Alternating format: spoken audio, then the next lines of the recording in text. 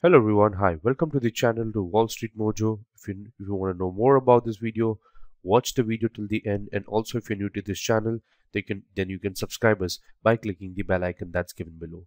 Welcome everyone and today's topic is basically an accounting topic. Accounting topic in a way when we see accounting topic uh, is basically the bookkeeping basics and the journal entries what we are going to learn in this particular session. Well, let's begin see journal entry is the first step of accounting. Remember this okay? Uh, where all the accounting transactions are analyzed they are recorded as the journal entries. And examples of which includes like the purchase of machineries by the country where machinery account will be debited or, or and, and, and cash account uh, will be uh, probably uh, credited right? So what we are going to do we'll take some journal entry examples uh, to understand this much more detail. Now the journal entry example in accounting provides an understanding of most common type of journal entries that is used by business enterprises in their day-to-day -day financial transactions. Now passing the journal entry is very much required as they allow the business organization to sort their transactions into manageable data. So it is basically the summary of the debits and basically the what we call the credits of the transactions it is debit and credit of the financial transaction with a note which accounts these uh, financial transaction that will affect and maintain in the chronological order. Now let me uh, take example number one here to to make you understand. Let's say there is a company called Pen World Limited that has uh, some of the transactions during the month of Feb 2019. Now what are the journal entries that that's going to work? So there's a transaction number one on Feb 4th, they purchased material worth of 50,000. So how the entry will go? So the entry will be purchase account debit that will be equal to 50,000 to cash. The cash will be credited to the extent of 50,000. Okay. Now let's say transaction number two, T2. Now here on on Feb 10, let's say they sold pens worth of 80,000. So how how it will work? So it will be cash account debited that is to the extent of 80,000 to sales account and that will be also 80,000. Let me take transaction number 3. Now let's say on Feb 28th the furniture uh, the, the, bought a furniture worth of 7,000. So furniture account debited that is equal to 70,000 to cash account that will be 70,000.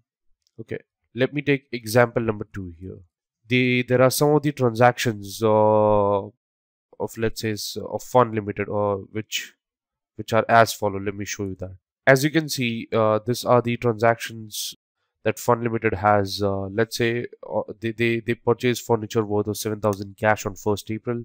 On 8th april they purchase goods for trading worth of 5000 by paying cash of 3000 and then balance in ram's retail store. So on first when they purchase furniture asset is coming in so debit and cash is going out so credit to the external 7000 on 8th april they purchase goods worth of 5000 okay so purchase or stock account debit to the extent of 5000 and they paid half in cash that's why credit cash is going out 3000 and the rebalance will be credit that is outstanding amount that will be in the name of 2000 as credit of goods. Now on 10th april goods sold to Ghanshyam worth of 12000 and cash sales of dollars so Ghanshyam is the debtors 12,000 of which we received cash only of 6,000. So the balance amount, the goods sold was of 12,000 and cash sales was of uh, was of uh, so I think the amount is not mentioned. So this was the cash sales, this was the credit sales, this was the total sales that happened. Right. Now owner withdrew cash of 2000 so cash will come in okay owner withdrew cash so capital is uh, basically it is a credit account when capital comes into picture it is debited and cash is going out. Now paid to ram retail store to the extent of $1000 paid to the ram retail store to the extent of 1000 so ram retail store 1000 to cash that is going out 1000 received 10000 from Ghanshyam. When we say received 10,000 from Ghanshyam, so cash account debit and Ghanshyam account will be credited because he is the payer. Now paid salaries of 3000. So when we say paid salaries of 3000, uh, we say salary account debit because that's the expense and the money is going out. That's why cash account will be credited. In the similar fashion, let's take example number three. there's a company called Small Finance International was incorporated over here April 2019 capital of 10,000 common shares during the first month of operating the the transactions was this all all all of the above so 10000 the rent was paid for current month and 50000 paid in advance so cash okay uh, this was the common capital. So cash is coming in and uh, the common stock is to the extent of 1 lakh dollar. Now on 1st april rent paid of 10000 so rent is an expense and cash is going out and 50000 is paid in advance. Okay so first rent to cash and prepaid rent because again that's an asset to cash account because cash is going out. The office supplies purchased on account having cost of 12500 so here office supplies of 12500 because it's an expense. And since no cash has been paid it is outstanding. So creditor will be there accounts payable. Furniture okay received 45000 against the provision of the service to the customers. So cash account debit to the revenue of the service being the cash received against the provision of the services. So initially they were on the debit side. Now we are crediting it. So it will be reversed Furniture worth of 10,000 purchase having a trade discount of 10, 10%. Very nice example. Furniture to cash is going out and trade discount. This is basically your income. That's why it's been credited. Now, equipment costing of 50,000 purchased by the company out of which the total amount of 30,000 paid by cash. So equipment will be debited, cash will be credited. Uh, and for the balance amount, notes payable was issued with 8.5% interest. So accounts payable to cash 12,500. Oh yeah, here equipment account debit 50 cash and notes payable in the balance. Provided service worth of 50000 to the customers. I mean that's quite see since nothing is uh, mentioned here account receivable to revenue from the service. Account receivable because it's your datas and receivable from the services is that's the outstanding part. Well uh, stationery worth of 500 purchased. So stationery account debit to cash account quite visible now electricity bill paid, telephone expense paid, miscellaneous expense paid during the year, paid wages to the employees worth of April. That's very normal examples. Electricity, telephone, miscellaneous, wages to cash, and so on and so forth. Well, after understanding all of this, let me give you example number four. Now, let's say uh, there are different purchases related to transaction in a company, material limited, and uh, transaction are like you know let, let's say on march 19th they purchased goods. So it will be purchase account debit okay to cash to cash. That will be to the extent of 5000 here 5000 here.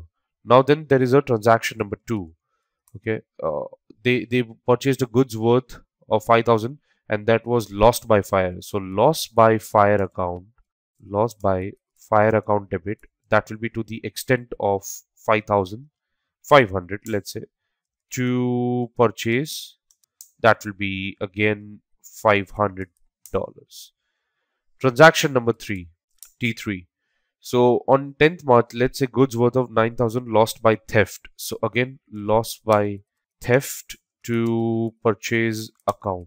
That will be $900 and $900 let's say transaction number 4 uh, on 15th of March 19, let's say goods worth of 700 that was distributed as charity. So charity account debited that will be to the extent of 700 and to purchase account that will be 700 again. Let's say transaction number 5 goods worth of 600 owner withdrew. So drawings account debit to purchase that will be to the extent of let's say 600 and 600 so after learning all of this let me make my final conclusion. The business enterprises will absolutely get benefited in many ways by passing the journal entry. And firstly it can get at one place the entire effect of any transaction. Secondly it provides the records of the transaction in the chronological order and they are helping in easing out to locate any transaction that is based on the date. So thirdly it basically helps in mitigating the reason of of the errors being debt and credit of the individual as well as the total transaction can be easily be compared. So moreover, any entries which are not going into any of the books maintained by the company have to be recorded in the journal itself. I hope you have got a fantastic idea regarding this particular topic. If you have learned watching this video, please don't forget to hit the like button and subscribe for all the latest updates. Thank you everyone once again for joining the video for the session.